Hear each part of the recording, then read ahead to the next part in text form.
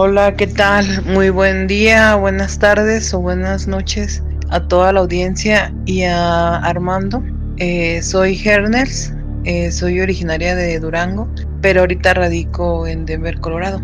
Les contaré el día de hoy algunas vivencias, ya sea de mi familia, mis abuelos, bisabuelos y algunas mías y de algunas familiares. Espero y les agrade. ¿Alguno de ustedes recuerda cuando la revolución enterraba monedas en los patios o en, se iban al cerro a enterrar las moneditas de oro y ahí a veces se quedaban cuando pasaban por los diversos municipios o estados? Ahí en mi municipio así sucedía que en la casa de mis abuelos maternos, en esa casa yo pues conviví tiempo cuando era más pequeña ya que mi mamá era la que me llevaba para allá a caminar y a visitar a los abuelos o a un tío ya cuando los abuelos habían fallecido ya que él había quedado en esa casa. Eh, me acuerdo que mi mamá me platicaba que ahí cuando ella estaba ahí muchacha o niña, ella veía apariciones. Como la casa de ella era directamente en un cerro, lo que era el área de atrás, se veían los árboles. Entonces ahí dice que veía muchos aparecidos, mucha gente pues oscura, que se veían sombras. Pero yo pienso que eran las mismas personas que cuidaban pues el dinero, el oro que, que estaba enterrado ahí más. Como enterraban varias casolitas, obviamente no sé si alguien haya sacado ya o que le haya tocado sacar ese, ese oro, pero no sé, yo sabía que mi mamá veía muchas sombras. Entonces, esa casa como mis abuelos ya les habían dado eh, su parte a cada uno de sus hijos, y a mi mamá ya le habían dejado esa, esa casa, esa casa junto con un con el hijo más chico de, de la familia de ella. Entonces, pues porque los demás se fueron de ahí a la ciudad, u otros vivían ahí, pero en otros terrenos más arriba, digamos más arriba al cerro, o sea, más arriba, les dieron su parte pero la casa de los abuelos le tocaba nada más a ellos dos, los que les comenté anteriormente. Bueno, esa casa eh, recuerdo que mi mamá la quería mucho porque pues era, pues recuerdo de, de sus papás. Un tío que también vivió ahí, él vendió su parte, se lo vendió a un primo, esa parte un primo mío, y él se fue también hacia la ciudad. Pero resulta que ese tío, después de tiempo, vino con mi mamá, que porque quería arreglar escrituras o no sé qué, porque necesitaba esa, esas escrituras. Total que mi mamá pues no sabía muy bien para qué era lo que iba a hacer. Mi tío malamente pues le robó las escrituras y la tomó a su nombre. Esa casa la tomó a su nombre y él le cambió pues las chapas, digamos, y no podían entrar, pues mi mamá siempre vivía muy triste. Pero en esa casa siempre dijo mi mamá que, que había muchas apariciones se veían muchas sombras, gente, gente que hablaba de noche y, se asomaba, pero siempre me dijo ella que aparecía como un tipo charro, como de los anteriores antiguos eh, revolucionarios que, que quizá sembraban ahí el oro, pues ya que también mi, mi bisabuelo, el abuelo de ella, él anduvo en la revolución, anduvo por ahí en esas partes. Esa casa ahorita está sola, y díganme quién no ha, sabido de casas solas donde hay mucha gente que, que se mete a hacer sus cosas, por ejemplo, brujerías y así, de diferente forma. En esa casa, eh, mi mamá pues ya al mi tío quitarle su parte y la del otro tío, pues estuvieron peleando, pero lamentablemente mi mamá pues se fue antes de tiempo para poder recuperar su, su casa. Pero anteriormente de que ella falleciera, yo iba pues al gimnasio que está por ese rumbo, hacia esa parte. Ya ven que ahorita las, las ciudades, los municipios ya crecen y en aquel tiempo pues si era casi puro cerro, ahorita ya está un poco más poblado. Se me ocurrió decirle a mi hermano mayor que sí íbamos a ver esa casa. Entonces nos fuimos y como no había llave, nosotros nos brincamos por la barda. Entonces en, al meterme por la barda había un un muñeco de, trapo ahí. Y yo lo único que hice fue, fue tocarlo, pero con varas, o sea, con unas varas de, madera para ver que en realidad qué era lo que tenía. Yo lo volteo porque estaba boca abajo, lo volteo y estaba con la cara quemada. Obviamente se veía cocido. Pero yo nada más lo vi ahí, malamente no le tomé fotografía, pero sí me acuerdo que como esa casa está sola. Eh, ah, y otra cosa, no agarraba señal, cosas raras, y se supone que pues en el, todo el municipio había señal y no podía hacer un en vivo en ese momento. Pero como los cuartos estaban cerrados, pero no cerrados con candados, sino como con unos alambres, nosotros nos metimos a lo que era la cocina y el cuarto donde se quedaba mi tío y en esa casa. Y también yo me acuerdo que, que yo cuando era niña, yo me quedaba ahí con mi mamá a dormir muchas veces. Pero bueno, ahí yo lo único que vi fueron pero pozos, como que alguien fue y escarbaba. Había demasiados pozos escarbando ahí en la casa de mis abuelos. Más nunca vi nada ni nada, pero ya casi estaba oscureciendo.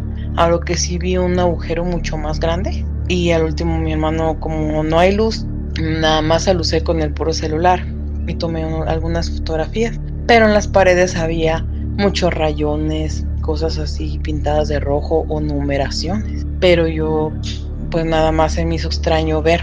Y nada, ya cerramos y nos fuimos, pues me dio nostalgia porque pues mi mamá quería mucho esa casa, cosa que ya no la pude recuperar por ese tío. Pero ese tío falleció mucho más antes que mi mamá, así que la casa se quedó al cuidado de, no al cuidado, o sea, como que los hijos de mi tío se quedaron con esas escrituras y ahorita la están vendiendo. Cuando volvimos a la casa de, de mi mamá, eh, le platicamos todo lo que habíamos vivido y visto mi hermano y yo. Y pues sí nos dio nostalgia porque les digo que la casa ya está caída, ya no tiene techo ni nada. Pero yo últimamente he tenido muchos sueños con esa casa, muchos, muchísimos sueños extraños y raros. Y entonces, este, siempre le platiqué a mi mamá que, que probablemente entonces como los revolucionarios y su bisabuelo, su abuelo de ella, enterraban ahí sus monedas. A lo mejor eh, por eso había ese tipo de apariciones, ya que si se han aparecido sombras y y personas, porque pues gente que me conoce y sabe de esa casa me han platicado que cuando pasan, como la ventana nada más tiene como tipo barrotes, como los de la cárcel, lo de, de la cocina y lo del cuarto no tiene ventanas de vidrio ni, ni ventana cerrada, observan que, que hay alguien dentro, aunque mi mamá dice que para ella no cree que haya habido oro, sino que más bien hubo muertos enterrados pues más miedo daría, me imagino yo. Así entonces, como son casas solas, pues la gente se mete a hacer sus fechorías. Entonces, este, les voy a contar también una, una historia de, de mi abuelo, el papá de mi mamá. A él sí no lo conocía, lo único que conocí fue a la mamá, a mi abuela.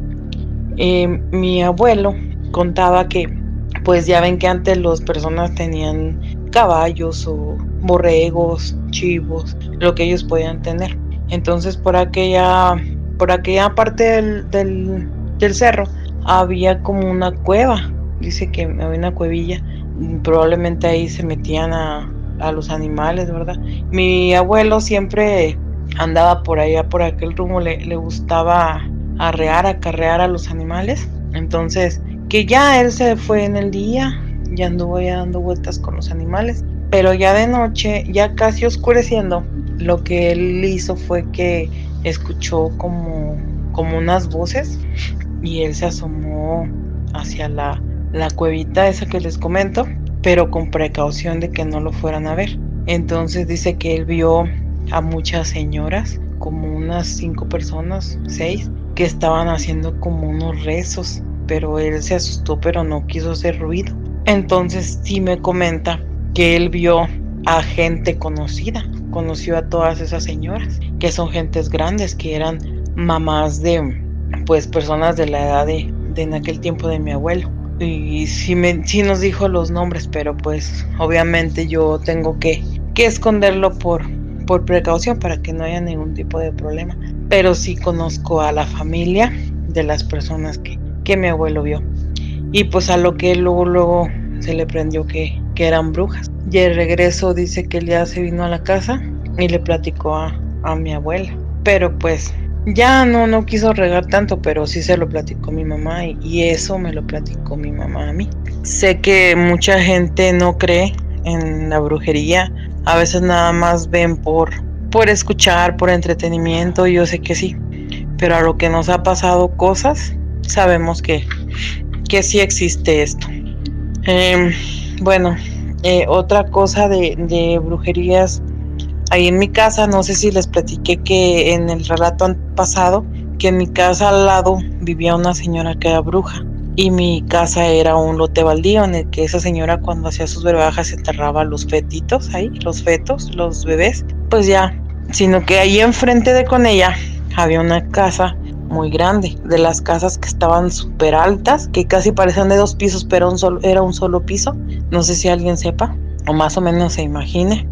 En esa casa mmm, me platicó mi mamá que ese señor, el dueño de ahí, era un, digámosle tipo hacendado, pero no hacendado, o sea, como un terrateniente, como una persona que tenía pues tierras y él pagaba a la gente porque le trabajara. Entonces, este, una vez hubo una desaparición que supuestamente, pues es que la gente que contrataban venía de fuera y esas gentes desaparecieron. Desaparecieron tanto el esposo como la señora. No se encontró que supuestamente se le habían ido se le habían ido y que ya no habían vuelto. Pero cosa rara que allí donde estaba el lavadero encontraron huesos humanos, como una osamenta. Entonces, pues ese señor ya ya había fallecido, ya ya no sabía ni ni a quién echarle la culpa porque nada más se supo así como clandestinamente que se encontraron una osamenta, porque si no yo creo había ido hasta la policía como hace unos 10 años, 8 años más o menos atrás, por la calle de medio, o sea, se dice así en los pueblos, porque de cuenta yo vivo en la calle de la orilla, que está cerca del río, la calle del medio que es la principal y la calle de atrás. Entonces por la calle del medio, digamos que en una casa de una de las personas también que tenían ahí pues un modo acomodado bueno, también ahí había, ahí como encontraron una osamenta, porque habían vendido ese terreno, lo vendieron para el mismo municipio, ya que ahí es donde hace las ferias, las ferias patronales de ahí del, del, del municipio, y ven que como escarbaron y quitaron todo, quitaron una palmera, una noria que estaba ahí, y en la palmera es donde encontraban una osamenta. Pero ahí sí llegó la policía y se me fue de fuera.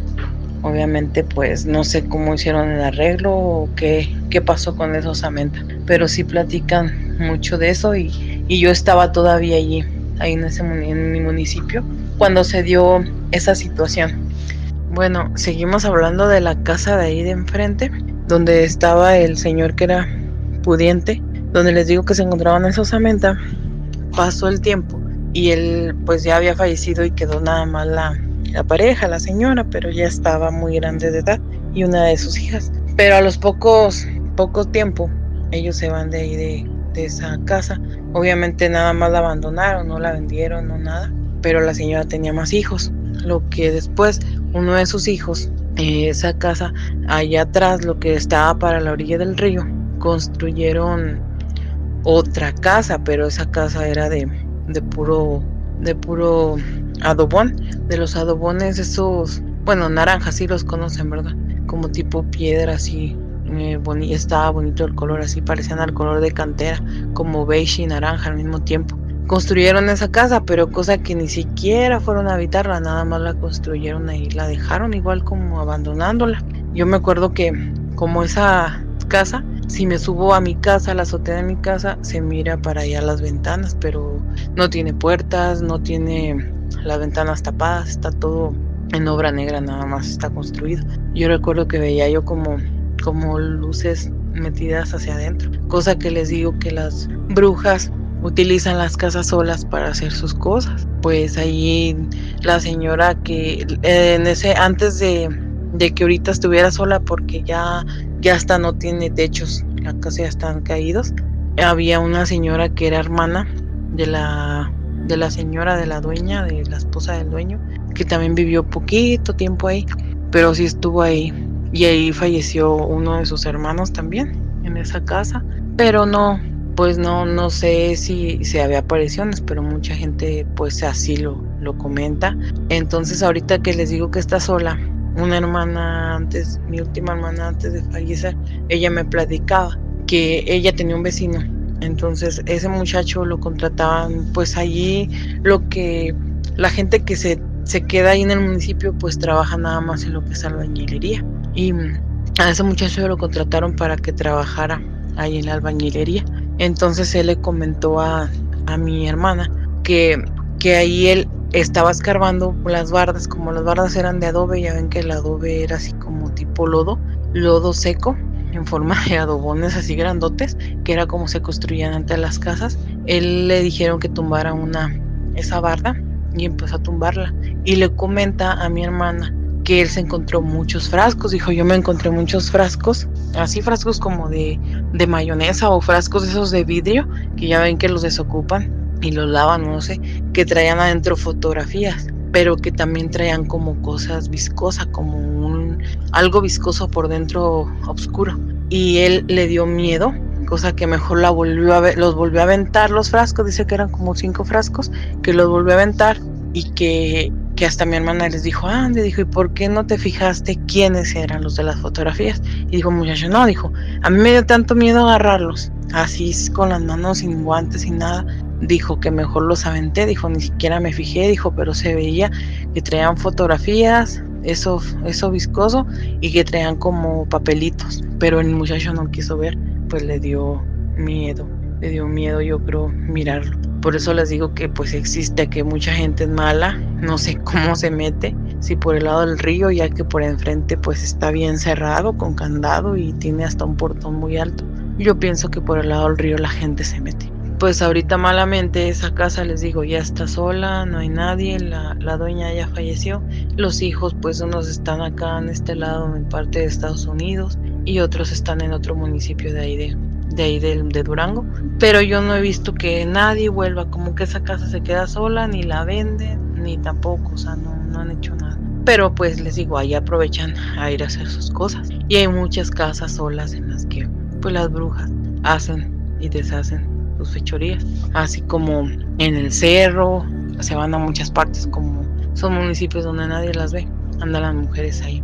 Y les digo porque una vez también mi mamá y yo veníamos, les digo, yo era niña, veníamos de la casa de, de mis abuelos, de allá del cerro, y yo nosotros vivimos en el centro. Mi casa está en el centro. Entonces veníamos y ella saludó a una señora. Y ahí antes de que la saludara estaba como una labor, si saben lo que es una labor, donde hay hierbas que plantan pues algún tipo de, ya sea sorgo, maíz, tomate, lo que sea. Tenía como unos alambres de púas. Eh, entonces mi mamá saluda a la señora y esos alambres de púas siempre se pueden desatar como con una, un tipo barrote de madera. Mi mamá la saludó saludó a esa señora, le dijo buenas noches, eran aproximadamente las 11, más o menos 10, entre 10 y 11 de la noche, y eh, le dijo mi mamá buenas noches. Esa señora dice mi mamá que traía como, yo la vi, pero mi mamá no, yo no me fijaba tanto. Mi mamá traía, dice que traía un rebozo enredado en la cabeza, y ella le saludó y le dijo buenas noches, y la señora no le contestó, pero dice mi mamá que la señora ni siquiera abrió el alambre de púa la puerta no la abrió, sino que como que la traspasó. La traspasó, mi mamá se asustó y me agarró de la mano y le caminamos más rápido para llegar a la casa. Así que no sabríamos que era si una aparición o, o una bruja. Les estoy contando estas anécdotas porque ya ven que pues los abuelos de antes platicaban, ya ven que le platicaban a sus hijos y luego sus hijos a sus hijos. Pero hay cosas que pues le pasaban a mi mamá. Así como ahí por la calle de con nosotros que le digo, yo tengo un hermano que le gustaba mucho tomar y pues cuando no volvía a la casa mi mamá siempre se preocupaba. Mi mamá siempre le pedía mucho a las ánimas del purgatorio que mi hermano regresara o siempre le pide a ellas que, que, cuiden que cuidaran a mis hermanos o a uno, pero a él principalmente porque a él le gustaba mucho tomar. Entonces dice que una vez en la madrugada, la madrugada eran como las dos más o menos de la mañana. Ella se asoma y ve a ver si mi hermano viene, pero ella se queda parada en la puerta. se queda parada en la puerta y no mira a nadie. Pero de repente ya se quedó un ratito esperando y dice que como a unos poquitos minutos, dice que venía una señora de negro de allá de para el lado de, digamos, derecho y otra señora del lado izquierdo vestida de blanco. O sea, eran una de blanco y una de negro. Entonces ella se metió rápido a la puerta y se quedó afuera mirando. Como está oscuro ahí, no se ve, sino que alcanzó a ver que se cruzaron una y otra, se cruzaron así por la banqueta de, enfrente de mi casa. Nada más, no dijeron nada ni nada. Nada más se cruzaron, pero era una mujer de negro y otra de blanco. Cosa rara. Ella nunca supo quién era ni qué era. Pero siempre que pedía las ánimas del purgatorio, en menos de media hora mi hermano llegaba a la casa.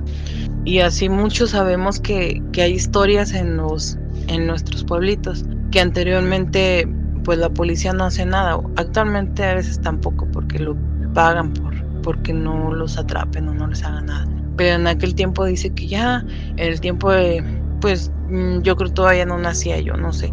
Pero sí comenta mi mamá que en aquel tiempo, cuando todavía era lote baldío, pero sí estaba la calle y no estaba, de hecho cuando yo estaba chiquilla todavía no estaba ni pavimentado.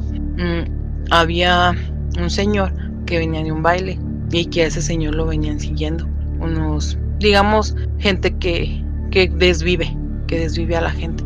Este, no sé si andaban mal los pasos o, o por haber bailado con una muchacha, no se sabe bien. Pero que ahí por mi casa, que les digo que comienza, venía en caballo, comienza de la casa que les digo de está muy alta, donde estaba el señor teniente casi enfrente de mi casa, pasa a la casa de enfrente de mi casa y la otra casa que sigue, que es de otro tío, que también ya falleció, ahí llegan y lo desviven y le dan pues varios impactos impactos los vivieron y la pared digamos que se llenó de, de líquido.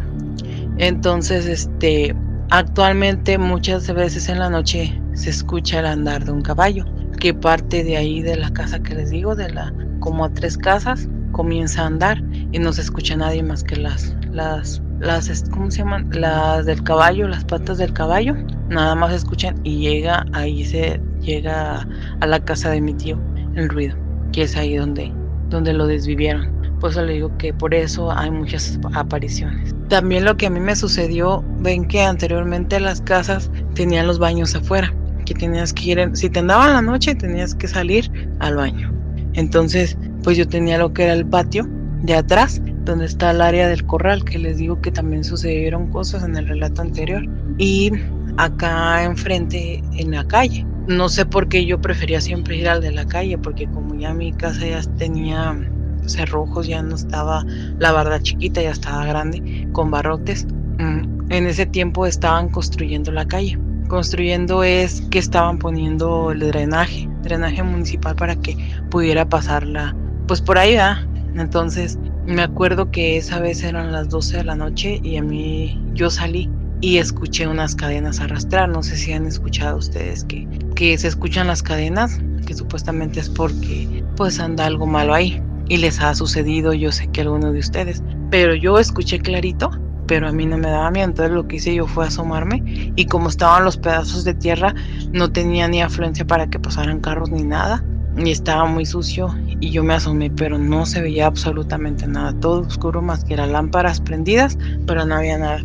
Pero también me tocó escuchar esa, ese tipo de cadenas. Hace poco, antes de que mi mamá se fuera, falleciera, este, mi hermano me platicó que, que él salió al patio a cerrar la puerta de su cuarto para poder quedarse con mi mamá ya que ella estaba enferma y vio una, una bruja como un pájaro grande, como de, dice que está como de un metro, que no volteó a verlo y mirado, pero él nada más se le quedó viendo, ni siquiera rezó ni nada, ni, ni él tuvo miedo tampoco, y que sola se, se fue y voló.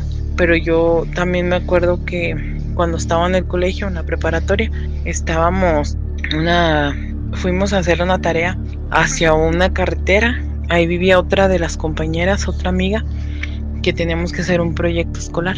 Entonces, pues anduvimos por aquel lado. Y ah, ah, se nos ocurrió ir como a un parquecito donde hay columpios y todo eso. Pero también para hacer las grabaciones, como yo hacía las grabaciones de, de pues de ese tipo de proyecto porque lo teníamos que entregar en cassette en aquel tiempo existía el cassette em, nos fuimos así como sobre la carretera y así donde había lugares solos como como nada más había como puertas para entrar hacia las labores que estaban en las orillas y me acuerdo que yo estaba grabando para que no se escuchara ningún ruido. Sabemos que pues ahorita sí se escucha mucho ruido cuando platicamos así, pero anteriormente las personas que saben como locución saben hacer ese tipo de efectos para que nos escuche. Pues nosotros teníamos ese modo. Ya cuando ya íbamos terminando, este dijimos, no, pues ya, ya es hora de irnos. Era alrededor de las 7 de la noche, casi por oscurecer, cosa que tampoco los papás nos dejaban ir tan noche. Entonces, este, mi prima en ese tiempo pues tenía yo esa prima con la que me juntaba, esa prima ya también falleció. Tenemos como alrededor de unos 16 años, 17 por ahí. Y las tres que andábamos y una amiga que vivía por ahí mismo, que ya luego, luego llegaba a su casa por ahí. Nosotros teníamos que caminar todavía como dos kilómetros para llegar a la nuestra. Y vimos en la carretera, vimos como un tipo pájaro pero no sé si era como, ya ven que las auras, que les dicen auras, así sopilotes, pero se nos hizo mucho más grande que un sopilote, mucho más grande, que medía como alrededor de un metro más o menos aproximado y nos asustamos. Nos asustamos, pero como yo era la más machota, digamos, en ese tiempo de las tres, yo le hacía como aventaba piedras y no volaba, nomás se me quedaba mirando y le quería asustar, pero no voló. Por eso les digo, no sé de qué tamaño exactamente son las brujas, ya que yo no las he visto en, en pájaro. Convertidas en pájaro no las he visto, pero sí las he escuchado chiflar ahí. Ya ven que les platiqué yo de una hermana que, que falleció también, joven a la que yo cuidaba, y últimamente falleció la mayor y mi mamá también el año pasado. Entonces, la más chica bueno, la que seguía de mí, un poquito más grande que yo, no, no tenía pues por qué fallecer, cosa que pienso yo que le hicieron algo. Y yo tenía muchos sueños premonitorios. Entonces les voy a contar como platicó ahí el profesor, saludos, que los sueños premonitorios a veces sí son verdaderos, pero como él soñó cosas bonitas así de que se veía Dios o ángeles, yo no. Yo al contrario, yo sueño cosas feas, oscuras, negras, como soquete. Miren, este, ahí muchas veces me acuerdo que, que yo soñaba a una señora. Esa señora también ya murió. Esa señora vivía a la vuelta de, de mi casa, digamos como si fuéramos para el río. Y tenía mala reputación, decían que pues era una bruja. Yo una vez la soñé que ella decía que se iba a llevar a mi mamá y yo le decía que no, yo molesta, no te vas a llevar a mi mamá y no te vas a llevar a mi mamá. Y yo soñé que iba yo a buscar a mi mamá con otra vecina y que le iba y le tocaba. Y le preguntaba a la vecina por mi mamá y decía no, que ella ya había salido antes, que ya se había ido a la casa, pero no, no veía yo, ella, mi mamá no había llegado a la, a la casa. Entonces, este, no sé por qué en el sueño se me ocurrió ir con esa señora que era bruja. Entonces yo entré a su casa entré a su casa y, la agarraba yo en brazos a mi mamá, la agarraba como si fuera una bebé, no sé por qué el sueño, pues la sentía yo ligera y me la llevaba hacia la casa y le decía yo, no te la vas a llevar, no te la vas a llevar. Después de como tres días, tres días de, de que yo tuve ese sueño, pues ya se lo platicé a mi mamá el siguiente día, pero mi hermana tenía como internada como, como 12 días en ese tiempo, 12, 11 días tiene internada y que me acuerdo que la bruja decía que sí se la iba a llevar, que se iba a llevar a fuerzas a mi mamá, que la iba a hacer sufrir a mi mamá, se dijo. Entonces, como a los 12 días que mi mamá está, mi, mi hermana, perdón, estaba internada, esa señora murió. Me, me mandó un mensaje mi mamá, pues casi todos los días yo hablaba diario de aquí. Y me dijo, oye, ¿qué crees? Dijo, ya se murió tal persona. Y se me hizo extraño y le dije, bueno, pues ni modo, pues que Dios le haya dado su, pues que Dios la reciba, si la tienen que recibir y, para descanse y pues el pésame que uno da. Total, que a los tres días que esa señora fallece, fallece mi hermana. Entonces, no sé por qué me vinieron a mí las palabras cuando dijo, voy a hacer sufrir, dijo, si no me llevo a tu mamá, voy a hacer sufrir a tu mamá. Y total que, pues ella se llevó a mí, a mi hermana, pienso yo, porque ya ven que dice que tres personas que fallecen en el municipio, este, siempre seguidas ya en, tiempo, como esa señora que le digo que era bruja, tiene un hermano. Eh, ese hermano se juntaba mucho con mi hermano, el que les digo que toma, y allí estaban sentados a veces afuera. Y ya después de tiempecito le dijo ese señora a mi hermano que si le ayudaba a pues a limpiar, a limpiar la casa de la señora porque pues la había dejado ahí sola y pues se las que si le ayudaba a quitar todo para para construir, para pues, para remodelar, digamos. Y eh, eso pasó como cuando falleció mi hermana, fue como hace ya como casi tres años va a cumplir. En septiembre de este cumple tres años. Y a los poquitos meses de eso le dijo mi, mi hermano que el señor, como al mes, que se le ayudaba. Mi hermano dice que él se metió a la casa y empezaron a limpiar. Entonces a mi hermano se le ocurrió asomarse al cuarto de la señora. Y dice que en el cuarto de la señora tenía como, como un altar en, ahí con un espejo y pegadas muchas fotografías de diferente gente, de diferentes personas y que tenía veladoras y santos y así. Que tenía cosas ahí fuertes como monos. Dice que también tenía monos de trapo. Eso dijo mi hermano que él había visto. Y como al hermano no le dio vergüenza o que mi hermano viera eso pero sí mi hermano dice que asomó a ver eso. Y también le preguntaron que, se, que si no se fijó a quiénes tenía ahí de fotografías y tampoco dice que se fijó. O sea, qué malo que tú entras a una parte y tienes oportunidad, pero ni siquiera te fijas y es lo malo. Entonces eso fue lo que, lo que sucedió. El primer sueño premonitorio que yo me acuerdo mucho fue cuando yo tenía 24 años, que era cuando le digo que soñaba mucho a mi prima, a esa prima con la que yo estaba hacia mis trabajos de la prepa del colegio. Y entonces ella eh, la soñé durante toda una semana, pero lo que tiene que su familia era muy muy seria, como que no sacaba nada a la luz, como que no querían uno que, uno supiera. Entonces yo tuve muchos sueños diarios con ella y decía, pues ¿por qué la sueño tanto? La soñaba que nos íbamos a pasear para un lado, para otro lado, andábamos en diferentes rumbos. Total que me acuerdo que como el séptimo día la soñé que que andaba yo, que era como yo, como una heroína que volaba sobre el cielo, se siente bien chido volar. ¿eh? Déjame decirles que quien ha soñado que, que vuela, no hombre, qué bárbaro, está bien, se siente bien padre. Bueno, soñaba yo que volaba y que iba desde aquí, desde donde yo vivía, desde, bueno, desde allí donde vivía mi municipio, hasta la ciudad de Durango, me iba volando. Y que hasta me acuerdo que veía los carros así, veía los carros yo para abajo y que cuando llegaba a la feria, era la feria en ese tiempo en Durango, y que me decía que, que porque había llegado tan tarde y era para julio más o menos aproximado y la feria empieza en julio. Entonces eh, yo soñaba que iba entrando a la feria que me bajaba y que veía muchísima gente y compañeras de la universidad que estaban en ese tiempo. Entonces enfrente de nosotros veíamos una muchacha que es la esposa de un exnovio de en ese tiempo mío. Entonces yo la veía, pero yo la veía como con la piel pegada al hueso y se me hacía tan raro. Y le decía yo, mira, porque ella la conoce. Le decía, mira, dije, ahí está esta muchacha, tiene su piel pegada al hueso. Le digo, se ve bien rara, ¿por qué se verá así? Decía, no sé, pero estoy enojada contigo, me decía ella. Le decía yo, ¿por qué? Decía, porque llegaste tarde. Le decía yo, pero ¿por qué llegué tarde? Yo no llegué tarde. Sí, que yo te necesitaba y tú no llegabas pronto. O sea, como que yo por estar en otro lado salvando gente, yo la descuidaba a ella. Y total que en eso empezaba a inundarse ahí donde estábamos sentadas, como la Plaza de Toro, pero que se veía agua chocolatosa. O sea, se empezaba a impregnar y a llenar hasta arriba. Y yo lo que, yo era la única que podía volar, nadie podía. Y yo no podía salvar a muchísima gente que estaba hacia alrededor. Pero esa muchacha estaba cerca de nosotros. Total que a la tarde de amaneciendo ese día, mi hermano que me avisa fue que me platicó que ella había muerto. Entonces, esos son sueños premonitorios, pero de esa manera muy, muy fuerte para mí.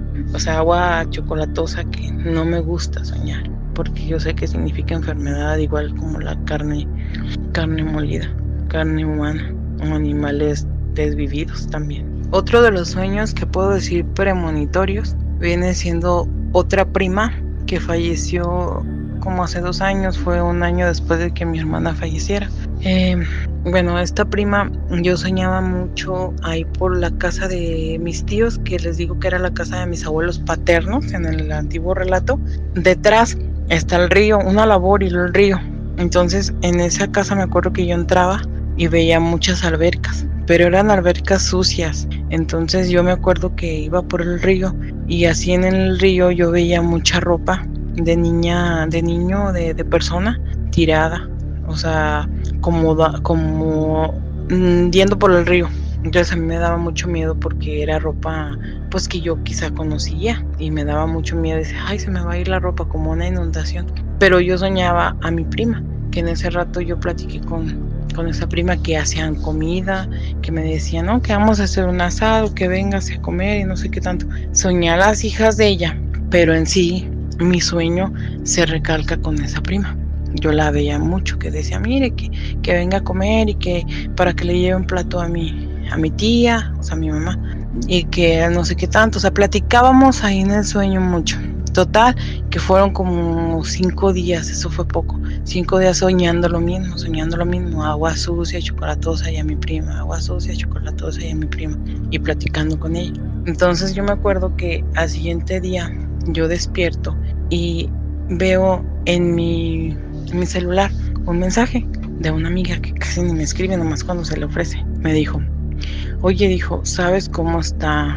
Me dijo el nombre de, de una niña, de la hija, de una de las que no iba en el viaje.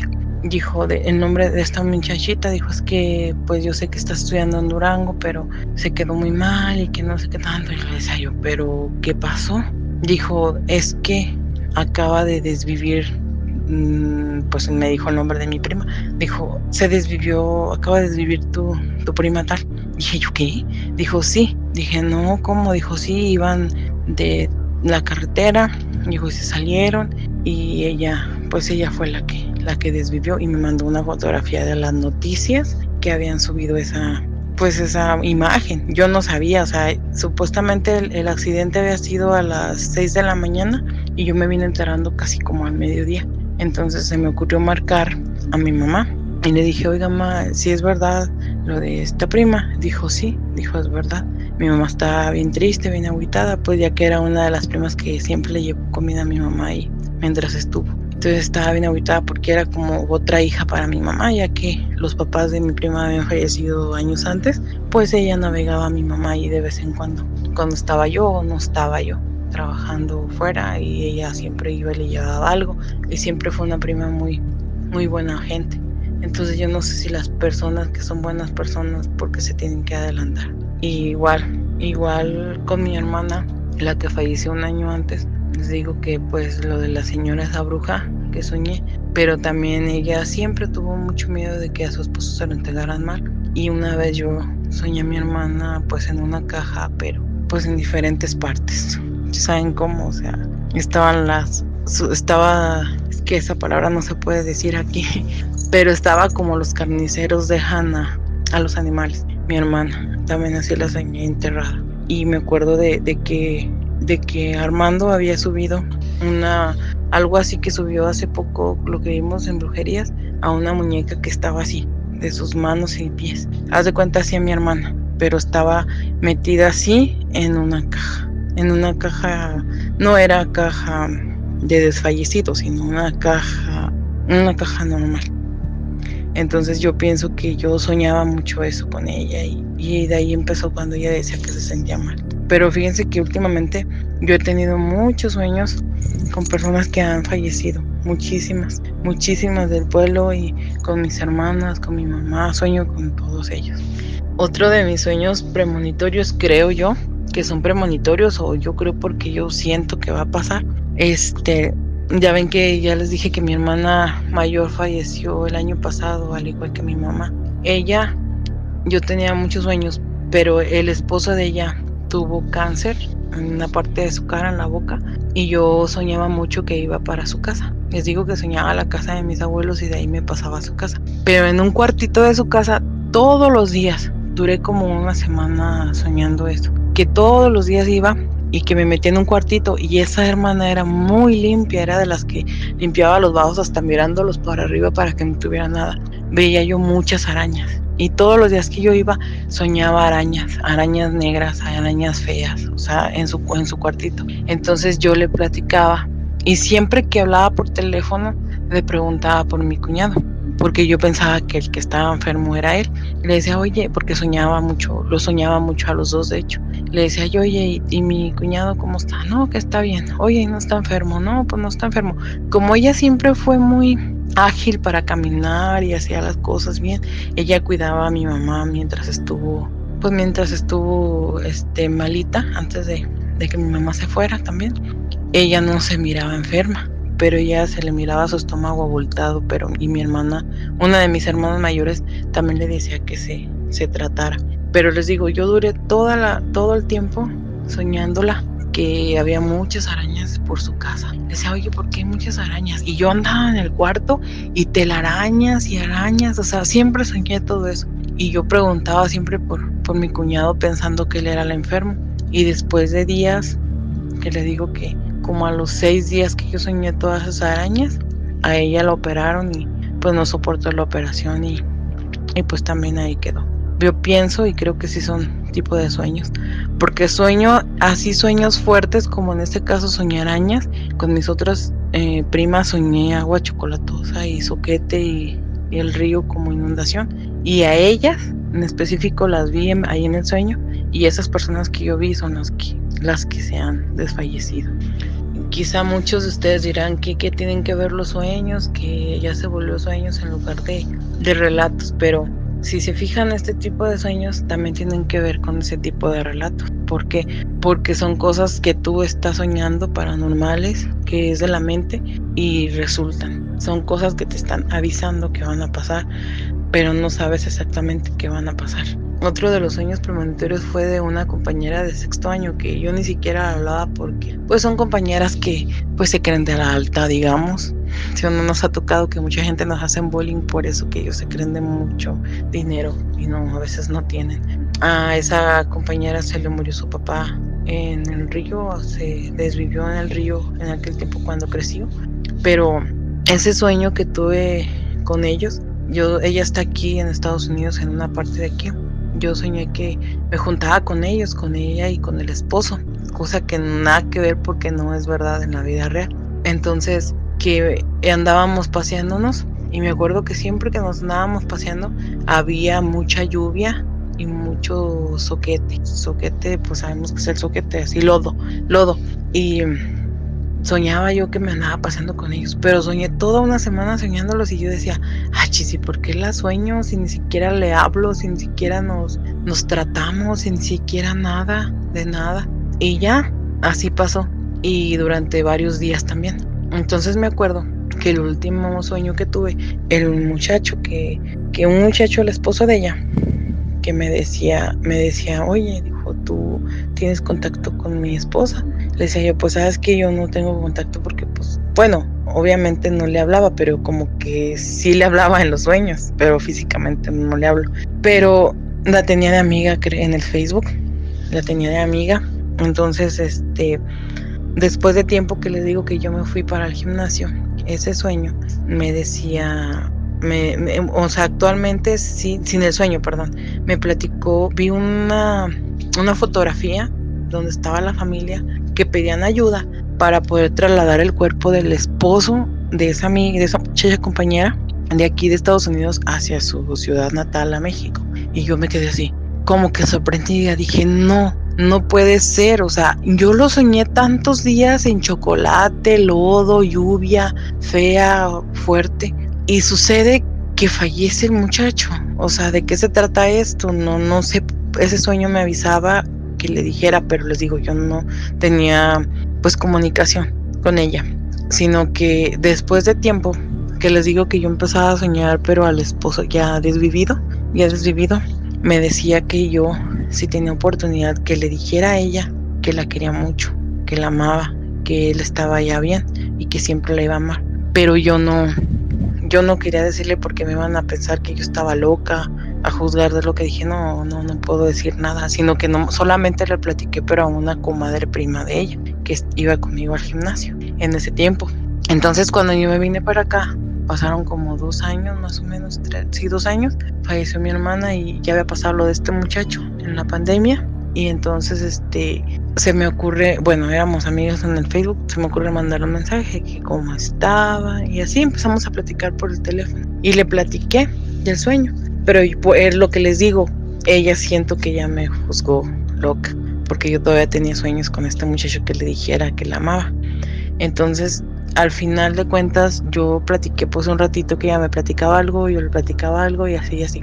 Entonces ella se hizo, hoy es novia de un primo mío y ella me mandó un mensaje que había ido a, al sepelio de mi mamá, porque también falleció mi mamá el año pasado, como les había comentado. Al sepelio, ya le agradecí y todo. Es cuando empezamos a platicar del muchacho, de su ex pasado, porque tuvo dos hijos con ese muchacho, el esposo que falleció.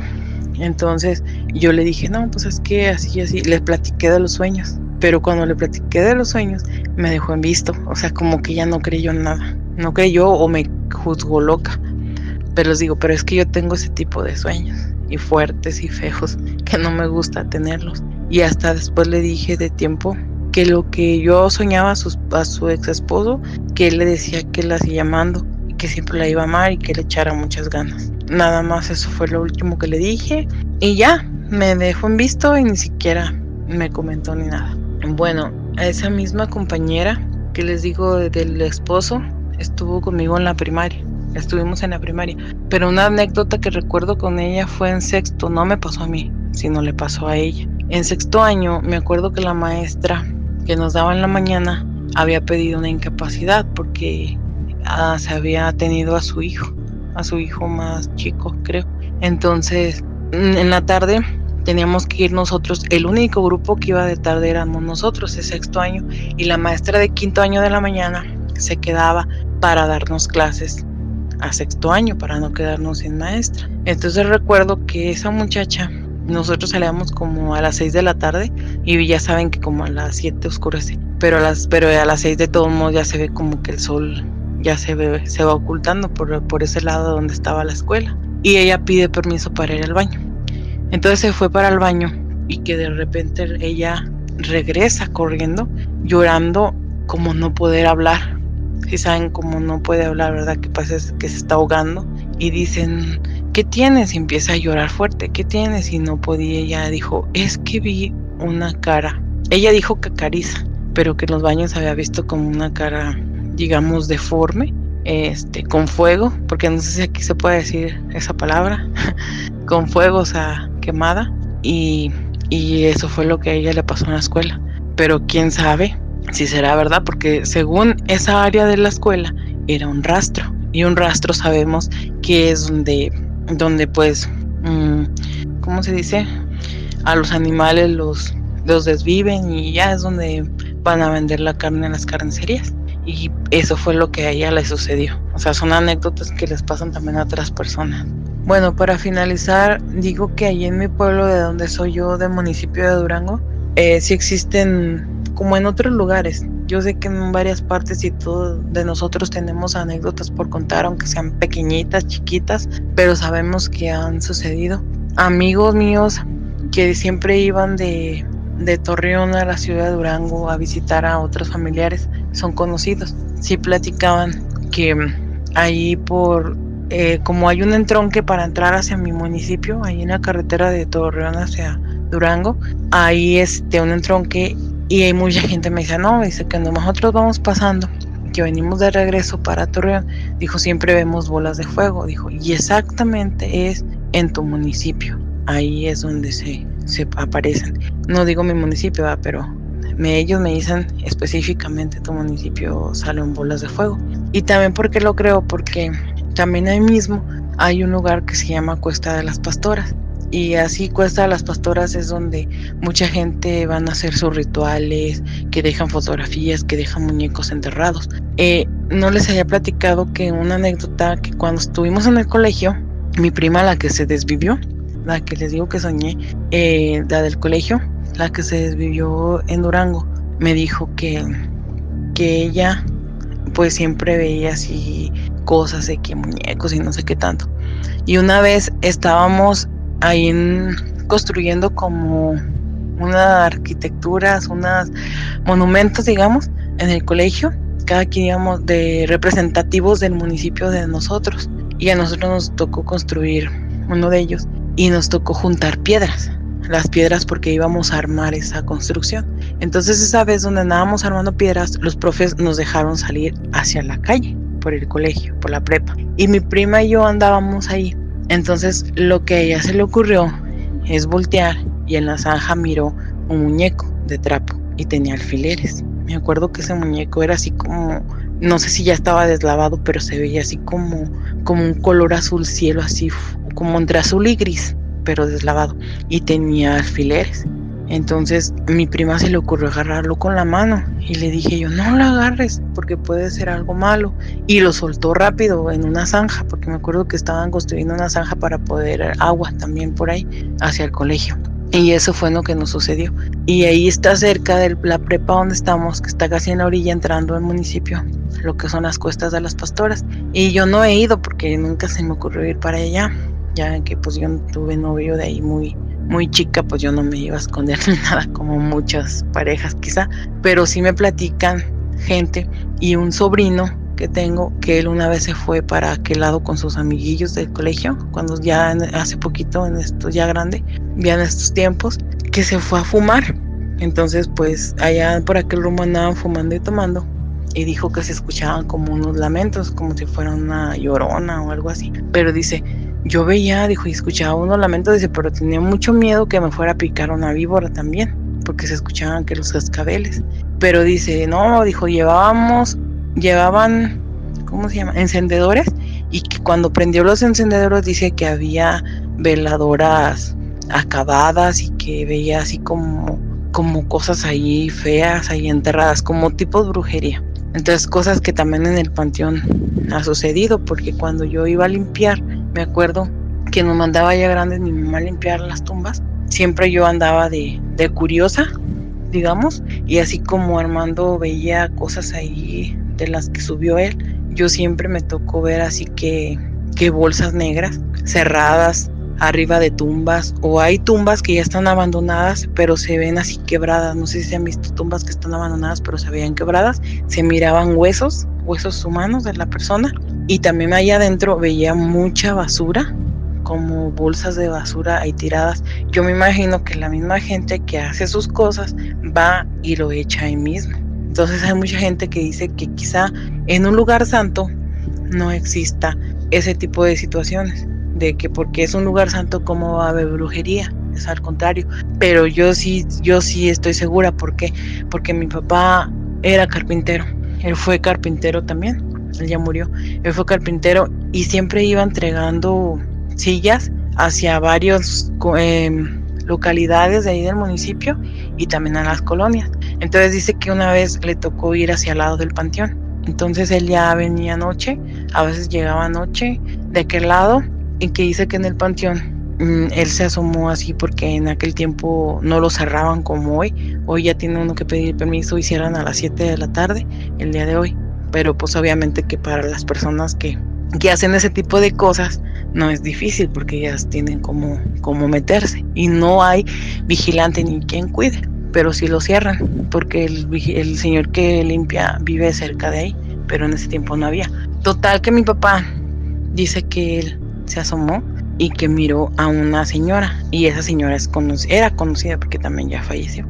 Era conocida, dijo, yo vi a esta persona, dijo, y dijo, y la vi que estaba haciendo como un conjuro, dijo, y levantaba como dice que la vio que agarró una bolsita y que agarró, pero que ella tomó tierra de panteón o sea, la agarró y la echó a la bolsa. Entonces, por eso les digo que, que si hay situaciones de ese tipo. ¿Se acuerdan que les había platicado de mi tío el que le pidió las escritoras a mi mamá, pues con trampa? Él falleció como, como en el 2019 más o menos aproximadamente. No, falleció antes, antes de tiempo. Mi papá falleció en el 2018, pero a mi papá me acuerdo que lo velamos en la sala y a mí, porque estaba haciendo frío, era en diciembre en un diciembre mi papá lo velamos en la sala. A mi hermana, la de la que les comenté hace tiempo en el al relato anterior, que ella había fallecido que de una brujería y que la, la teníamos en, el patio de atrás que daba hacia el corral donde les digo que se apareció el pájaro, que se escuchó el pájaro y se, se apareció. Ella, me imagino yo que la brujería de ella, porque mi mamá decía que se le escuchaba como un sapo en el estómago y mi hermana misma le decía que ahí se, tenía su estómago inflamado, pero así como la, lo que subió la vez, esta vez pasada Armando de, de la panteón que encontraron el sapo, que tenía el este cocido, el hocico cocido, me imagino que a mi hermana le sucedió lo mismo. Entonces, bueno, regresando a lo de mi tío, que le quitó las escrituras a mi mamá, también él falleció. Eh, mm, más o menos antes que mi papá, pero en ese tiempo estaba haciendo calor y la cochera de acá de para quedarse a la calle de la casa ya estaba apta para poder que, que pudiera ser velado ahí pues y que pudiera entrar más gente que quisiera ir a verlo. Entonces los hijos de él, de mi tío, querían que fuera velado en la calle de medio, o sea, en la casa de una tía política. Pero los hijos de la tía política decían que era más factible en la casa de mi mamá, ya que mi mamá era su hermana directa. Y pues él siempre fue a la casa de mi mamá, más que aún después de que le haya quitado las escrituras, él era bienvenido a, a la casa de mi mamá, porque nosotros no éramos de maldad. Pero pues sí, pues sí se pasó mi tío con hacer eso, el haberle quitado a mi mamá. Entonces me acuerdo que antes de que llegara su cuerpo, yo me puse a arreglar ahí la, la cochera de barril, limpié todo, acomodé como van ahí el, pues las flores y todo que, que fuera ahí, el donde, donde iba a estar el ataúd. Entonces, total, que ahí fue la, el sepelio de mi tío en la casa de mi mamá, fue el, el novenario, fue todo. Entonces en el jardín de con mi mamá teníamos un romero pero un romero grandísimo, o sea, un romero que crece, no sé, yo digo que eran ya como un metro y medio de alto y de amplio, casi abarcaba todo el jardín. Estaba muy padre ese romero, me acuerdo que se lo usaba mucho como para, para el cabello, para lo que se pudiera utilizar el romero.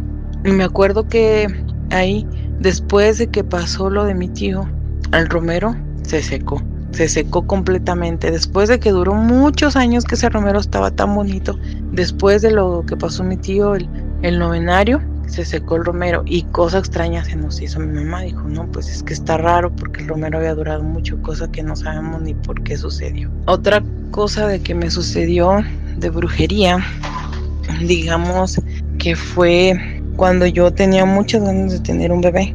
Entonces yo anteriormente pues digamos que íbamos con brujos charlatanes, no sabíamos qué era un brujo real y un brujo charlatán, pero una señora de ellas no me cobró, me acuerdo qué dinero, pero me, me, me barrió y me comentó que yo tenía un perrito que me había salvado de que me hicieran alguna brujería, pero que totalmente no llegué a, a salvarme. Porque porque me dijo, ¿no viste en tu casa, dijo fuera de tu casa, como una mancha llena de aceite? Dijo que estaba ahí. Dijo, eso que estaba ahí, dijo, tú lo absorbiste. Dijo, y tú estás trabajada. Pero yo me acuerdo que me asomé y cuando ya regresé de ahí, me asomé y vi en el piso en una mancha oscura como aceitosa ahí en la mera entrada de mi puerta de mi casa, que supuestamente me la iban a echar atrás del corral por mi casa, pero que yo tenía ese perrito y que él me salvó de ello y que por eso vinieron por enfrente y me lo pusieron. O sea, hay tanta gente mala que hace ese tipo de cosas que yo no sé por qué no se cansa de, de hacer eso. Y yo sé que muchas compañeras, mucha gente de aquí de, del auditorio ha contado muchas cosas muy, muy padres y muy dolorosas, cosas que les han hecho de brujería, pero sí es verdad. Entonces simplemente yo lo que hago es siempre, todas las noches me pongo a orar últimamente porque pues dinero para estar pagando a charlatanas que me ha pasado varias veces como que ya no. Pero de que existe, existe. Y pues hasta aquí mis relatos, querido auditorio. Espero les gusten y puedan escucharme. Y pues esto es todo y saludos a todos y que tengan muy buen día, buena noche. Hasta luego.